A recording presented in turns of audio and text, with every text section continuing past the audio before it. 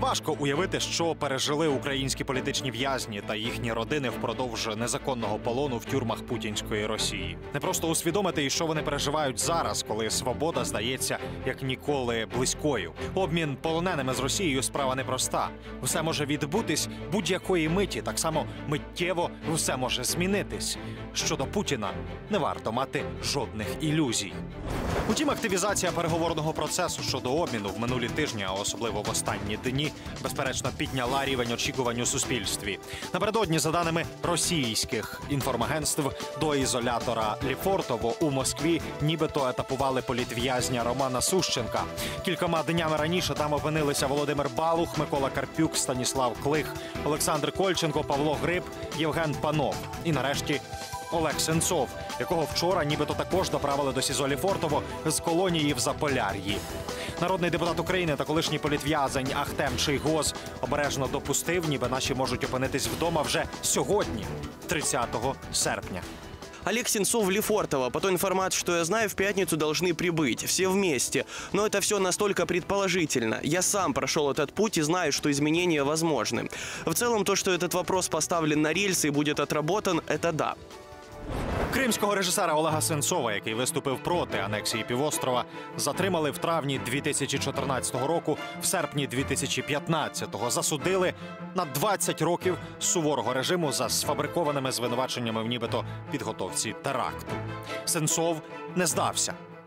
Где-то в срок 20 лет ну, мне не страшно, потому что я знаю, что эпоха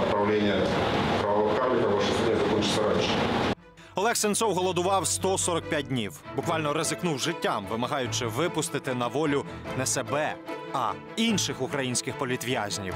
Кримського режисера у 2018-му нагородили премією Європарламенту за свободу думки. Весь цей час світ і Україна вимагали відпустити Олега та інших незаконно утримуваних українців. Але Путіну було байдуже. Господин Сенцов был задержан за подготовку к террористическим актам. У травні 2018-го СБУ затримала громадянина України Кирила Вишинського, керівника пропагандистського ресурсу Ріа Новості Україна. В нього знайшли російський паспорт, медалі від Путіна за возвращення Крима та за заслуги перед Отечеством. Звинуватили в державній зраді. В ході судового засідання обвинувачений публічно попросив допомоги у Путіна. Позавчора, 28 серпня, Вишинського звільнили з під варти під особисте зобов'язання. Вишинський підписав згоду на включення в списки на обмін. У липні віддати Кирила Вишинського Росії в рамках обміну пропонував президент Зеленський. Ми готові Вишинського поміняти. Сінцов це як приклад. Ми готові поміняти на Сінцова, але це не розмінна монета. Я маю на увазі. Ми хотіли отримати, отримати всіх наших в'язнів, всіх наших політв'язнів, всіх наших військових. У СІЗО Лефортово в Москві, де сьогодні очікують на обмін українські політв'язні, також перебувають 24 українських моряки, яких Росія в листопаді минулого року захопила із застосуванням військової сили в нейтральних водах Чорного моря поблизу Керченської протоки. Міжнародний трибунал з морського права в Гамбурзі в червні цього року зобов'язав Росію безумовно повернути Україні і незаконно полонених моряків, і три захоплених кораблі. Ми ж не кажемо про обмін з приводу наших моряків. Моряків нам повинні повернути. Обмін політичними в'язнями і повернення українських моряків це два різних процеси. Росія донині ігнорує рішення гамбурзького трибуналу і не відпускає наших моряків. Однак через тиждень для Кремля наступає дедлайн, кажуть експерти. Крайний срок – это, насколько мне объясняли дипломаты, 6 сентября.